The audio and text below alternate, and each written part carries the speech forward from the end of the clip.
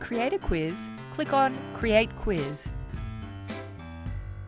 Give your quiz a title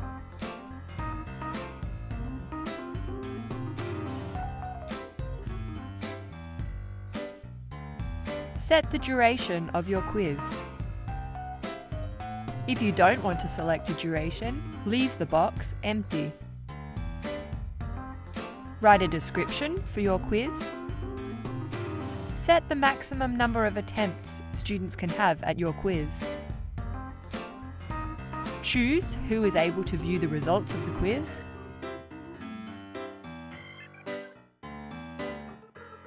Enter the weighting of the quiz.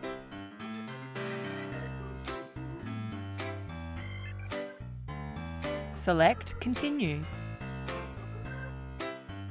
In your quiz, you can choose to have multiple sections. Give your first section a title. Select whether you would like to shuffle the questions.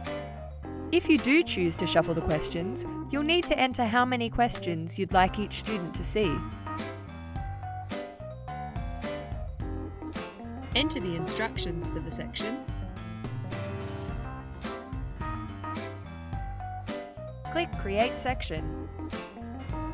You'll then be prompted to add your questions. There are many different question types.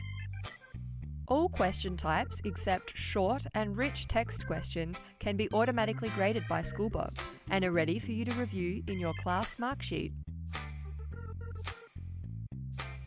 Now choose your question type. Fill in the relevant details for the question.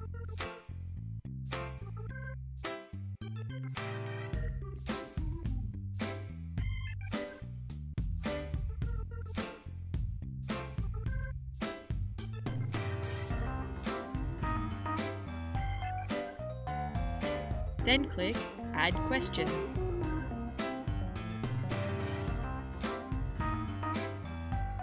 Continue adding questions in the same way.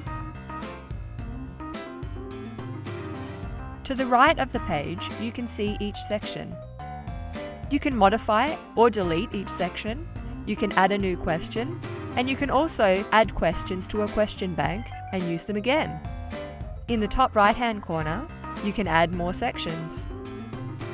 You can export quizzes for future use, or delete them using the delete button.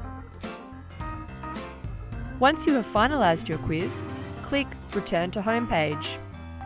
Your quiz will now appear in your course builder. The next step is to add more content to your course builder, then import your course onto your class page.